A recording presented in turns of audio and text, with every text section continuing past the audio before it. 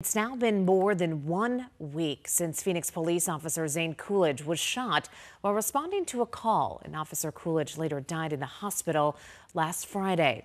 And all this week has been about honoring him and his service. He and his partner, Matthew Haney, were shot while responding to a car break in a week ago Tuesday. And after a moving and large fundraiser for the family of Officer Coolidge just yesterday, we want to tell you about another opportunity where you can head out to honor the officer while helping other people who also need life-saving blood donation. That's right, 12 News journalist Justin Pazera. He is live this morning from the Mountain View Police Precinct, which is one of those places, Justin, where people can go and donate blood in Officer Coolidge's honor today.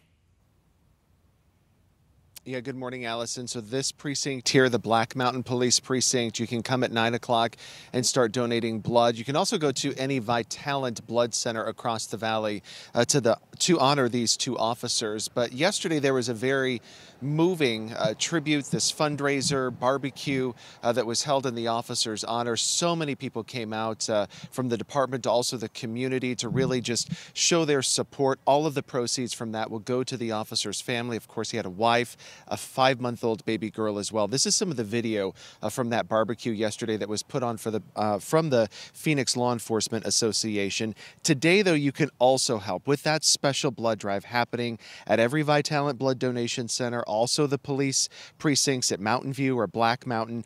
Officer Coolidge and Officer Matthew Haney were both shot on September the 3rd near 16th Street in McDowell after a call came in that someone was breaking into cars in that area.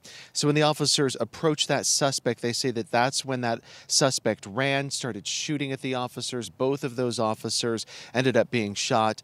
Police eventually arrested Saul Ball, that is the suspect in this, after searching that area for several hours.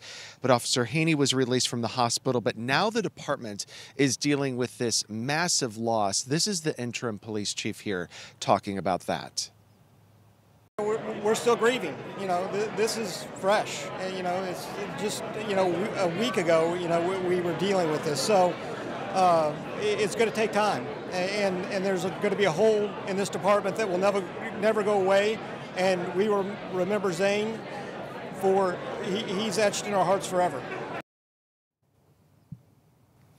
So that suspect is scheduled to be in court tomorrow morning for a preliminary hearing. Right now, he is charged with attempted and first degree murder.